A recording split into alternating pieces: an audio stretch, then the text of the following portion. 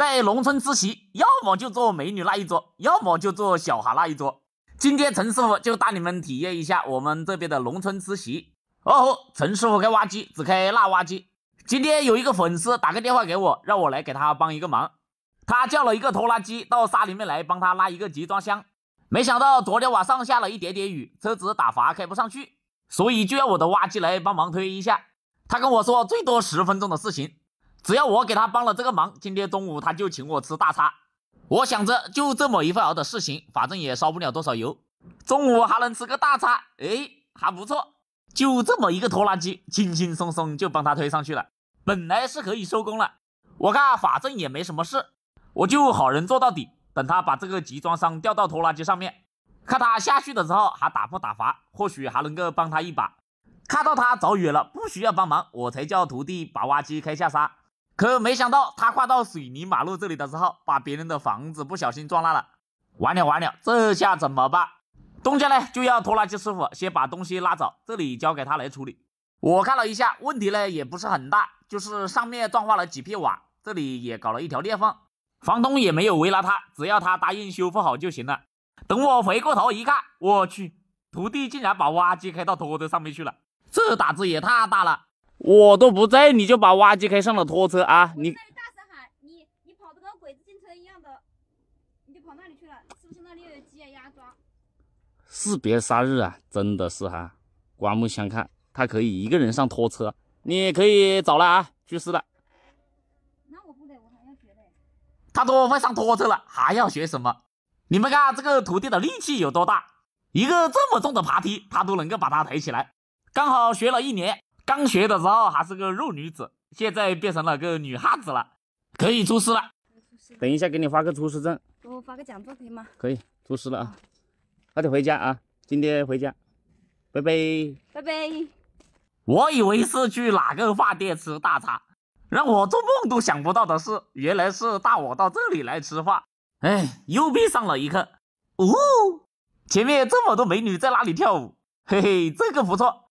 等下吃饭，我一定要跟他们坐一桌，然后我就厚着脸皮问他们这里有没有坐人，他们异口同声说没有，那我就坐下喽，嘿嘿。趁他们还在这里拍照，我一个回手就把饮料拿在手里面，嘿嘿，这个饮料就是我一个人的了。你们还在那里拍照，那我就不客气了，先喝第一口了。我喝着饮料，看着前面的一排美女，大家说我心里有多开心。终于准备上菜了，他们就没有拍照了。我看着马上要上椰了，我伸手去拿那杯豆浆。其实我的目的是这包椰，嘿嘿，椰到手，顺手就把它揣到兜里面。吃席首先不要暴露自己的身份，像这些素菜随便加两个就行了，让给他们。一般第二个菜是个硬菜，所以要先做好准备。等菜一上，他们以为我是去拿盘子，其实我的目的就是为了这个鸡腿，嘿嘿，还是鸡腿好吃。我一口鸡腿，一口饮料，你们不知道有多爽。马上又要上菜了，我坐的这个位置刚好是上菜的位置，所以每当要上菜的时候，我就可以把前面的盘子推到他们那边去。而刚上的菜就是在我的面前，嘿嘿，这个就是叫诈术，你们懂不懂？当我还在夹这块扣肉的时候，我都没注意，就又上了一个菜，大法慢一秒，可能就是光盘，这口粉丝我就吃不到了。还好我手快，夹了一点，刚吃完粉丝又上菜了，这是炖牛肉，口味不怎么样。夹了两头，我们就不要了。等下一个菜，接下来这个菜是排骨炖玉米。他们以为我是去夹玉米的，其实我夹了一块大排骨。像这种吃席一定要下手快，大法慢一点就只能喝汤了。吃到一半的时候，对面几个小姐姐想用美人计分散我的注意力，嘿嘿，可他们没想到我陈师傅根本就不吃这一套。只要菜一上，能够夹两块肉的，我绝对不会夹一块。这个只有汤的碗，我们推到对面去。咦，鱼来了！我去，失算了，瓦竟然被他们推到地上去了。等我把瓦捡上来，诶，这个鱼呢，直接没了。这是高端局啊！看来还是我小看他们了。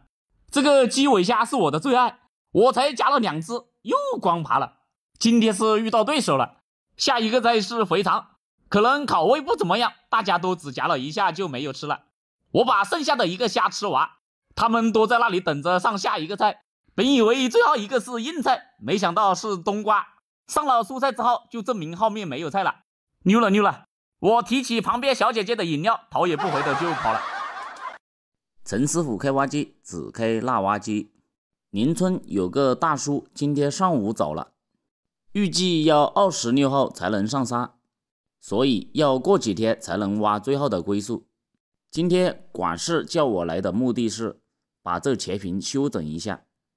干这种大事要搞一个很宽的场地才好开席，还要有地方好停车才行。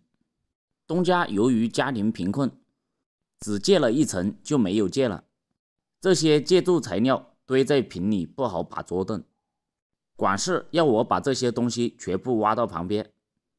咦，这好像是一根辣条，我才挖第四斗，竟然有辣条在里面，好像我今天忘记行李了。早知道我开工之前就应该先行杀个礼，这么重要的事情我竟然忘记了。老铁们，这下怎么办？赶紧先行杀个礼，补上。无意冒犯，有事找老板。我们这里将近两个月没有下雨了，每天都是大太阳，四十度的高温。他竟然在这个里面，我挖了沙斗，他也没有走，结果第四斗就被我挖到了。老铁们可以作证，我绝对不是故意的。管家说，旁边的沙子就要堆在这里。要我先把这里整平，这墙脚下应该没有辣条了吧？千万不能再有辣条了。这个大哥说要我挖一斗沙子放到房间里面去。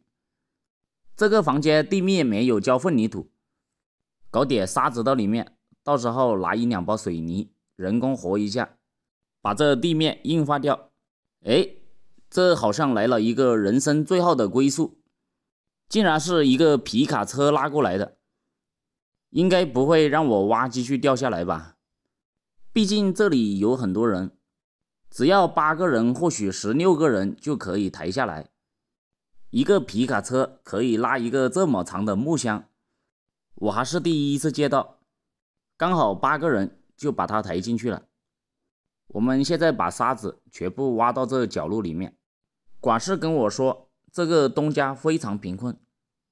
七八年了，只借了一层，还没有搞装修，而且房子里面门都没有装，地上也是黄土，没有浇混凝土，窗户都是前段时间刚装上的。让我等下不要收他的起步价，也不要收他的拖车费。老铁们，你们有谁知道这是去干嘛吗？管家说这个情况特殊，要我能有多优惠就优惠一点。过几天上沙，那个人生的最后归宿也交给我去挖。我说可以的，那就不收起步价了，直接计时间，做多久算多久。本来干这种事情还要烟啊、红包啊、毛巾的，我全部不要了。等下时间上还给他少记一点。他家这个情况确实很困难，直接用推土铲以最快的速度把所有的建筑垃圾全部推到旁边。一个小时二十分钟就把整个活全部做完了，收工上拖车准备回家。老铁们看这个坪摆个四五十桌还是没得问题的。上车之前对着东家先行六个礼，愿他一路走好。正当我准备拖挖机回家的时候，东家要我还给他挖几个坑。我挖坑是村里出了名的挖得好。我立马把挖机开下来，先给东家挖个坑。原来是要立几根木头，因为白天太阳太大，四十度的高温晒着太阳，在这瓶里面吃饭，那是谁也吃不消，所以要立几根木头，然后盖一块很大的篷布在上面，打一个临时性的棚子，这样就晒不到太阳了。总共立了六根柱子，总共两个小时。我只要管家给我三百，今天少挣几百，生活多姿多彩。喜欢陈老师，给陈老师点个关注，点个赞。